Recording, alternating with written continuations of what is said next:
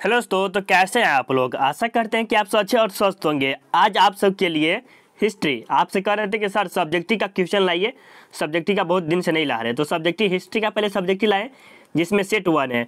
और most important subject जो भी कराएँगे, आपको एग्ज़ाम में आने वाला फाइनल एग्ज़ाम में आपको आना है तो आना है। फाइनल एग्ज़ाम के लिए आप अगर तैयारी कर रहे हैं बोर्ड एग्ज़ाम की तो ज़रूर आएगा ये क्वेश्चन जो बोर्ड एग्ज़ाम में बार बार पूछा गया प्रश्न है और पूछा जाएगा हंड्रेड परसेंट गारंटी ठीक है? इतना नहीं कर सकते हाँ ये पूछा ही जाएगा पूरा पूरा।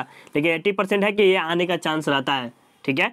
चलते हम यहाँ से एक नंबर से स्टार्ट करते हैं और आपको जो भी क्वेश्चन पढ़ाएँगे, वो फुल एक्सप्लेनेशन के साथ पढ़ाएँगे और पूरा डिटेल साथ कराएँगे, ठीक है? चलिए यहाँ से एक नंबर से स्टार्ट कर, और जिस भी स्टूडेंट को पीडीएफ चाहिए फ्री में, वो बाद में रुकेंगे लास्ट तक, उसको पीडीएफ फ्री में मिल जाएगा। ठीक है, चलिए। अशोक ने बौद्ध धर्म के प्रचार के लिए क्या क्या कार्य किए? अशोक ने बौद्ध धर्म के प्रचार के लिए क्या क्या कार्य किए? तो इसका उत्तर देखिए। कलिंग युद्ध के उपरांत अशोक ने बौद्ध धर्म के प्रचार, प्रसार करने के लिए तन, मन, धन से कार्य किया। देखिए, ये जो अशोक है ना, क्या किया? बौद्ध धर्म के प्रचार के लिए क्या किया? तन, मन, धन से कार्य किया। मतलब तन, मन, धन से नहीं, जानते हैं? जैसे पैसा हो गया, अपना जीवन पूरा लगा दिया। किसमें बौद्ध धर्म के प्रचार के लिए सिर्फ़। और उसके बाद क्या हुआ? देखिए, अशोक ने महात्मा बुद्ध से संबंधित तीर्थ स्थानों लुम्बनी कपिल वस्तु गया, कुशीनगर तथा श्रावस्ती की यात्राएँ की। मतलब ये जो अशोक है ना, वो क्या क्या बौद्ध धर्म के प्रचार के लिए कहाँ कहाँ गया? लुम्बनी गया था कपिल वस्तु गया गया गया, कुशीनगर, श्रावस्ती की यात्रा की। मतलब उन सभी जगह स्थानों पर क्या क्या ये बौद्ध धर्म का प्रचार करने लगे। और जिन सिद्धांतों का प्रचार किया, उनका पालन उनका पालन स्वयं भी किया। मतलब जिन सिद्धांतों का प्रचार किया, कोई भी चीज़ हो गया, अशोक ने जिस चीज़ का प्रचार किया, उनका पालन क्या कौन कौन किया? तो अशोक स्वयं भी किया था, ठीक है? बहुत अच्छे समझ में आ रहा होगा मेरे ख्याल से। अशोक ने बौद्ध धर्म के नियमों को, श्रृंखलाओं को, स्तंभों को स्तंभों को, गुफाओं पर खुदवाया। उसने अनेक स्तूप बनवाए। उसने अनेक स्तूप किसके नाम पर बनवाए? तो बौद्ध धर्म के नाम पर बनवाए, अनेक स्तूप बनवाए। उसने बौद्ध भिक्षु को आर्थिक सहायता दी। मतलब बौद्ध भिक्षु को जो निर्धन थे मतलब इसके पास पैसा वैसा नहीं थे, उसको पैसा दिया, ठीक है? कौन दिया? तो अशोक दिया था। बौद्ध धर्म की आंतरिक फूट को दूर करने के लिए, आंतरिक फूट मतलब बौद्ध धर्म का जो हुआ था, उस समय क्या हो गया था? बौद्ध धर्म फूटने लगा मतलब एक दूसरे में विभक्त होने लगा। उसको एकत्रित करने के लिए क्या किया? पाटलिपुत्र में बौद्धों की तीसरी सांगीतिक का आयोजन की भी हुआ, ठीक है? तीसरा आयोजन हो गया और बौद्ध धर्म के प्रचार हेतु प्रचारकों को भारत के विभिन्न भागों के साथ साथ विदेशों में भी भेजा। और देखिए, जो अशोक है ना, ये बौद्ध धर्म का प्रचार करने के लिए भारत तो हो गया एक हो ही गया देश। और उसके साथ साथ वो क्या क्या पूरे विदेश में भी प्रचार करना स्टार्ट कर दिया। जैसे देखिए, श्रीलंका में अपने श्रीलंका में अशोक अपने पुत्र महेंद्र और पुत्री संगमित्रा को भेजा। इस प्रकार अशोक बौद्ध धर्म को विश्व धर्म में बना दिया। देखिए, ये जो अशोक है ना, अशोक, वो पूरा पूरा क्या किया? अपने पुत्र को। अपने अशोक अपने पुत्र को क्या क्या? पुत्र महेंद्र नाम था। किसका? अशोक के पुत्र का नाम क्या था तो? महेंद्र था। और पुत्री का नाम क्या था? संगमित्रा था। इन दोनों का क्या किया? श्रीलंका भेज दिया। किस लिए? धर्म प्रचार के लिए। धर्म प्रचार किसके धर्म के थे बौद्ध धर्म के प्रचार के लिए। और ये बौद्ध धर्म से क्या बन गया? विश्व धर्म बन गया। तो एक नंबर पे यह बहुत भी भी आई क्वेश्चन। और याद कर लीजिएगा ना तो इसे पाँच नंबर कोई नहीं रोकेगा। इतना चैलेंज देते हैं। ये वीडियो बहुत मतलब अगला बार भी पूछा गया है। दो तीन साल से लगातार ही पूछा जाता है क्वेश्चन चलिए, ये चलिए आप दो नंबर क्वेश्चन है। और दो नंबर पे चलिए। दो नंबर पे देखिए क्या करा है? कि चंद्रगुप्त विक्रमादित्य के बारे में आप क्या जानते हैं? चंद्रगुप्त द्वितीय चंद्रगुप्त, विक्रमादित्य के बारे में आप क्या जानते? हैं उसके बारे में बताना, ये भी पूछा गया प्रश्न है, ठीक है? बहुत बार पूछा गया ये भी प्रश्न है। चलिए, चंद्रगुप्त के बाद उसका पुत्र, चंद्रगुप्त द्वितीय सिंहासन पर बैठा। देखिए, ये जो सिंहासन पर बैठा कौन? चंद्रगुप्त था, ठीक है? उसके बाद कौन आया? चंद्रगुप्त द्वितीय है जो सिंहासन में बैठा, उसने विक्रमादित्य की उपाधि धारण की। वह एक बहुत बड़ा विजेता था। जो चंद्रगुप्त द्वितीय था, क्या था? यह एक बहुत बड़ा विजेता था। उसने चंद्रगुप्त साम्राज्य को सुदृढ़ बनाया। मतलब सुदृढ़ बनाया, यहाँ का प्रसिद्ध और सिद्ध बना दिया। और उसमें और उसमें अलावा गुजरात और कठियावाड़ा शामिल किए गए। मतलब इसमें जो है ना, चंद्रगुप्त मौर्य में क्या क्या शामिल कर दिया? मलवा, ठीक है। गुजरात और कठियावाड़ा शामिल किया उसी जगह पे। उसने अपनी बेटी प्रभावती का विवाह वाका तक वाकाटक वंश के शासक रुद्रसेन द्वितीय से, द्वितीय के साथ किया। देखिए, जो चंद्रगुप्त द्वितीय की जो बेटी थी, वो प्रभावती थी, ठीक है? और उनका विवाह किसके का वाकाटक वंश के शासक रुद्रसेन के रुद्रसेन द्वितीय के साथ क्या क्या? विवाह करा दिया। इस वैवाहिक संबंध से चंद्रगुप्त को अपने सिंहा, अपने समस्त सेना के विरुद्ध इकट्ठा करने का अवसर मिल गया मिल गया। प्रभा, प्रभावती वाकाटक राज्य की एक बहुत प्रभावशाली महारानी थी। ये जो वाकाटक थी ना वाकाटक, ये जो प्रभावती है, उसकी पत्नी होगी, ठीक है? और ये प्रभावती थी क्या थे? बहुत बड़ी बहुत प्रभावशाली महारानी थी, ठीक है? वहाँ के, कहाँ के? चंद्रगुप्त द्वितीय के। चंद्रगुप्त द्वितीय कई कई नए प्रकार के सिक्के जारी किए उसके सोने के सिक्के से उसकी शक्ति, व्यक्तित्व और स्थिति का पता चलता है। देखिए, जो चंद्रगुप्त द्वितीय है, वो क्या किया? अनेक प्रकार के सिक्के जारी किए सोने के सिक्के जारी कर दिए, ठीक है? उन्हीं के बारे में। तो ये बहुत बड़ा शक्तिशाली बन गया। कौन? चंद्रगुप्त द्वितीय और इनके बारे में बहुत अच्छा लिख सकते हैं। यहाँ पर देख रहे हैं छोटा लेकिन ये बहुत बड़ा है क्वेश्चन ठीक है? आप कॉपी में लिखिएगा तो बहुत बड़ा हो जाएगा, ठीक है? चलिए, बहुत बढ़िया। ये देखिए आपके सामने चार नंबर में कि इंडिका के लेखक कौन है तो आपसे पूछा जाएगा तो क्या बताएगा सर मेघास्त्रिज आपसे पूछा जाएगा कि इंडिका के लेखक कौन है तो मेघास्त्रिज बहुत बढ़िया। यहाँ से चलते हैं तीन नंबर में कि मेघास्त्रिज के बारे में आप क्या जानते हैं? मेघास्त्रिज के बारे में आप क्या जानते हैं? उत्तर देखिए। मेघास्त्रिज चंद्रगुप्त मौर्य के दरबार में यूनानी राजदूत था। कौन था? मेघास्त्रिज चंद्रगुप्त मौर्य के दरबार में एक यूनानी राजदूत था। उसे संयुक्त ने सेल्युक्स होना चाहिए। यहाँ पर सेल्युक्स होना चाहिए, ठीक है? सेल्युक्स। सेल्युक्स ने सेल्युक्स ने अपना राजदूत बनाकर उसे चंद्रगुप्त मौर्य के दरबार में भेजा था। किसने भेजा था? सेल्युक्स ने। सेल्युक्स ने किसे भेजा था? तो चंद्रगुप्त मौर्य को दरबार में भेजा गया था। मेगास्तिनी ने भारत में जो भी कुछ देखा, उसने अपने इंडिका नामक पुस्तक में लिखा। उसने भारत का का जो विवरण प्रस्तुत किया, उसमें उसने भौगोलिक पर्यावरण, भारतीय सामाजिक जीवन, उनकी धार्मिक अवस्थाओं, राजनीति तथा प्रशंसा के बारे में लिखा। देखिए, ये जो मेघास्थनी थे, ये यूनानी थे, ठीक है? ये यूनान से आया हुआ था, राइट? एक राजदूत के रूप में आया था। और उन्होंने क्या किया? चंद्रगुप्त मौर्य के दरबार में, कहा थे? चंद्रगुप्त मौर्य के और ये जो मेघास्थनी है ना, ये भारत में आया था, ये तो सही बता दिए। और ये जितने भी चीज़ें कार्य देखे, जैसे भारत में भी कैसा है, माहौल, वो भी जो भी चीज़ देखे, वो क्या किया? इंडिका नामक एक पुस्तक था, किसका? मेगा खनिज का। उन्होंने इसी में पूरा लेख किया, जिसमें भौगोलिक पर्यावरण, भारतीय सामाजिक जीवन मतलब जितने भी भारत में सामाजिक जीवन है, उनके बारे में लिखा। उनकी धार्मिक अवस्थाओं, जैसे धार्मिक जाति उति हो गया, तथा राजनीतिक तथा प्रशंसा के बारे में लिखा। और भारत के जितने भी प्रशंसा के बारे में में भी लिखा। तो तीन नंबर भी कंप्लीट हो गया होगा मेरे ख्याल से। और ये देखिए, चार नंबर क्वेश्चन में बहुत महत्वपूर्ण चार नंबर है कि महाजन पदों के बारे में संक्षिप्त में लिखे अब महाजन पद के बारे में आप जानते हैं कि कितने महाजन पद थे? सोलह महाजन पद। और सोलह महाजन पदों में से सबसे शक्तिशाली कौन था तो मगध था। सबसे मगध शक्तिशाली भी था। ठीक है? चलिए देखिए, सोलह महाजन पद, पदों के काल में सबसे शक्तिशाली मगध था। कौन था? मगध था, जो अभी गंगा नदी और सोन नदी के निकट बसता है। किसके नदी किनारे बसता है तो गंगा नदी और सोन नदी के निकट बसता है। मगध ने अपनी राजधानी बढ़ाने के लिए कई जगह की रानियों के साथ विवाह किया। अब ये देखिए, मगध जो है ना, इसलिए शक्तिशाली हो कि कई जगह की रानी, कई जगह की रानी से विवाह कर लिया ठीक है। जिस, जिसमें से लिच्छवी की राजकुमारी कौशला कौशला से विवाह किया। इसीलिए मगध सबसे शक्तिशाली राज्य बना। और ये जो मगध जो शक्तिशाली राज्य बनने का ये निश्चित था कि यहाँ पर गंगा नदी भी था, वहाँ पर भी था।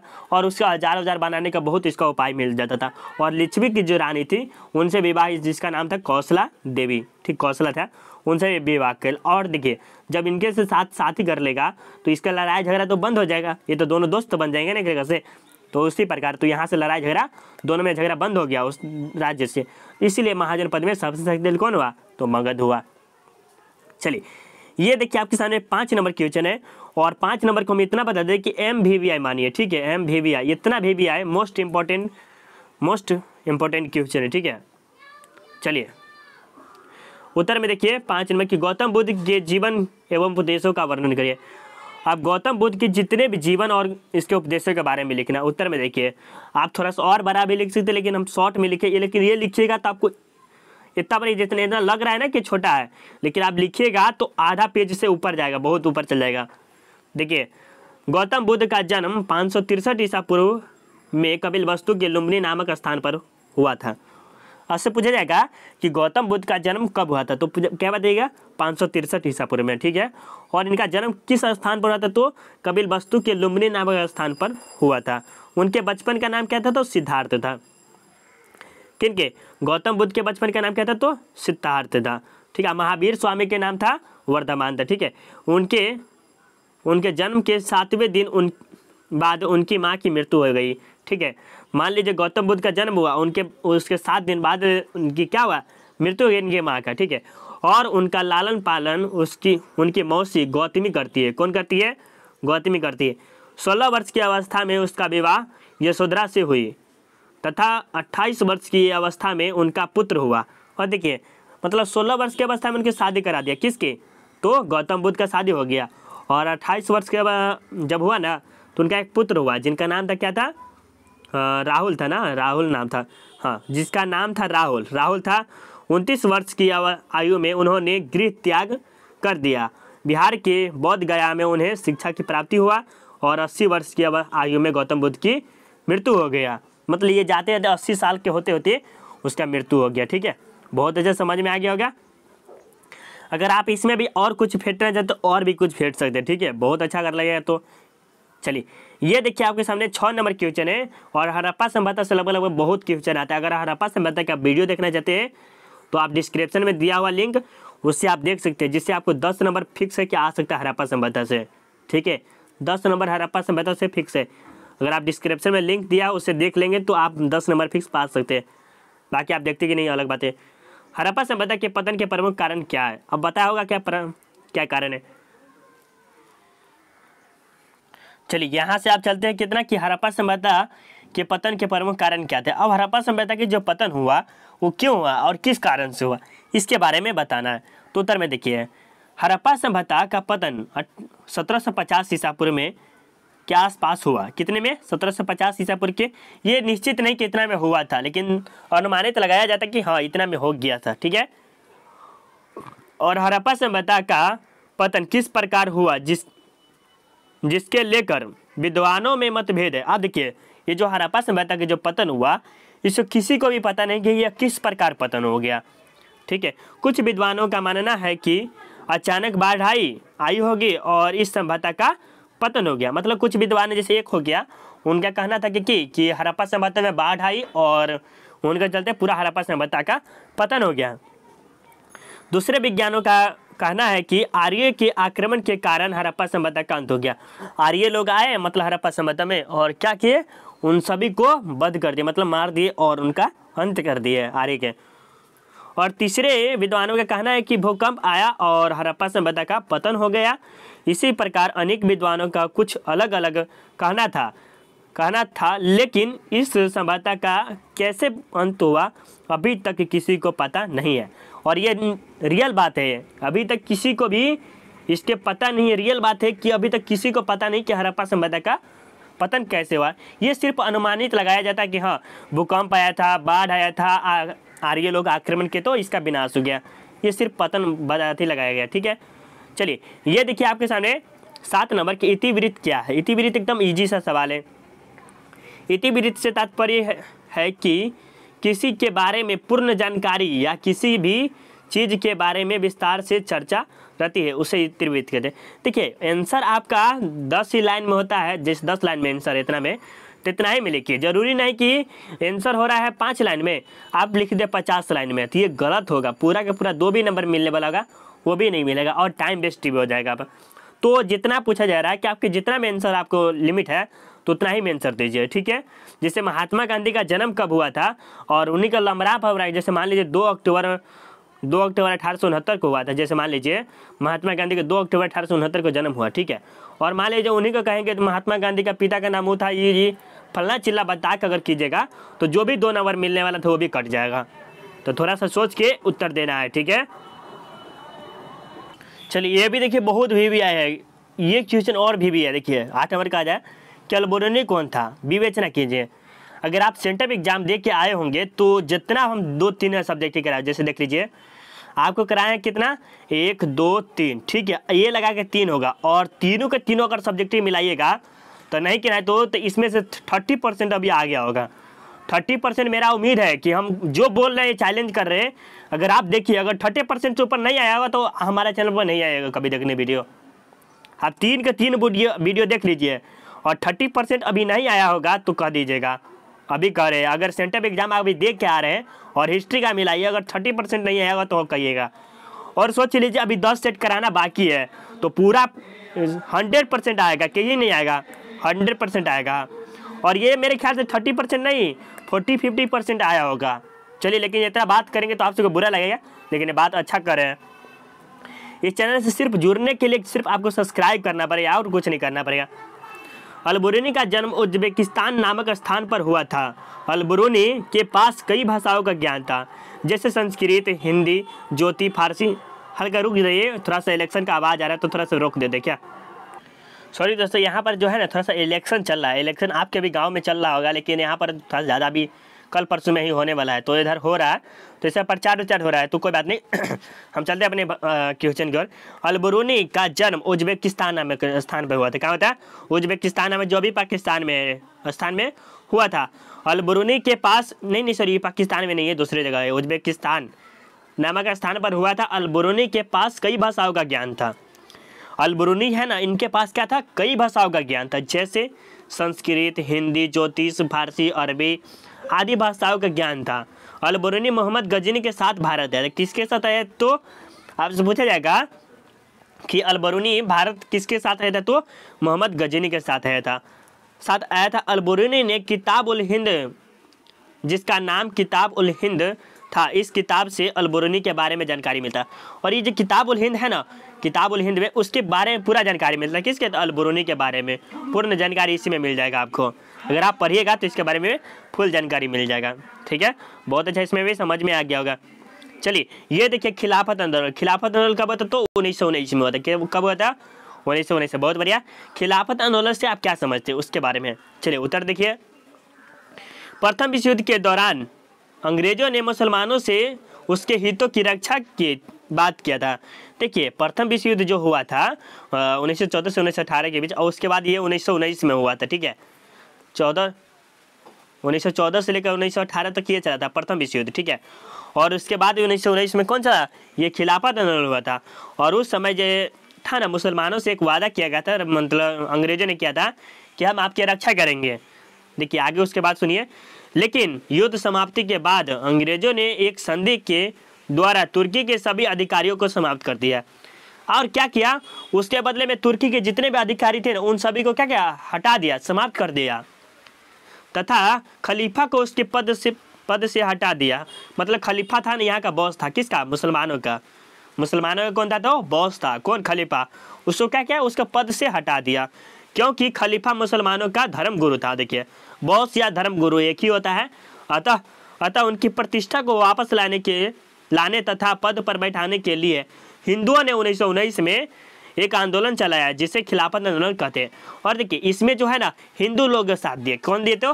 हिंदू लोग साथ दिए उन्नीस सौ उन्नीस में कि आंदोलन चलाया, जिसे खिलाफत आंदोलन कहते हैं। और ये आपके दस नंबर क्वेश्चन, और दस नंबर के बाद चलते हैं, दूसरे सेट में चलेंगे, ठीक है? देखिए, दस नंबर है प्रारूप समिति या मसौदा समिति की एक पर टिप्पणी लिखी है। देखिए, प्रारूप समिति या मसौदा समिति पर एक टिप्पणी लिखे उत्तर देखिए संविधान का स्वरूप तैयार करने के लिए 29 अगस्त उन्नीस ईस्वी को संविधान सभा ने सात सदस्यीय समिति का गठन किया। कितने?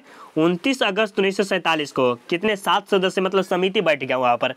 वहाँ पर गठित हो गया। एक, दो, तीन ऐसे हो गया ना। वहाँ पर बैठ गया। समिति बैठ गठन किया गया। इसके अध्यक्ष बाबा भीम बाबा साहेब भीमराव अंबेडकर थे। इस समिति ने संविधान के प्रारूप समिति को संविधान सभा के सामने फरवरी उन्नीस सौ अड़तालीस में सौंप दिया था। कितने में? फरवरी उन्नीस में सौंप दिया था, ठीक है? आपसे ये पूछिएगा, प्रारूप समिति के अध्यक्ष कौन थे? तो बाबा साहेब भीमराव अंबेडकर थे, ठीक है? बाबा साहेब भीमराव अंबेडकर बहुत अच्छा इसमें समझ में आएगा। अगर वीडियो अच्छा लगा हुआ तो लाइक कर दीजिए। अगर कुछ अच्छा लगे और आप किस सब्जेक्ट का आप किस सब्जेक्ट का मतलब किस सब्जेक्ट का वीडियो चाहते हैं सब्जेक्टिव तो आप कमेंट में सब्जेक्टिव में कमेंट कीजिए और हो सके तो शेयर कर दीजिए। तो शेयर कर देंगे तो बहुत अच्छा रहेगा मेरे दोस्तों। और चैनल पर नए नए हैं तो चैनल को सब्सक्राइब कर लेंगे, ठीक है? और लाइक तो ज़रूर बनता है, एक लाइक तो ज़रूर बनता है ना? लाइक करते चलिएगा, ठीक है? बाय अगले, अब सेट टू में मिलते हैं, ठीक है? और आप सेट टू के लिए कमेंट ज़रूर कीजिए। Bye take care all of you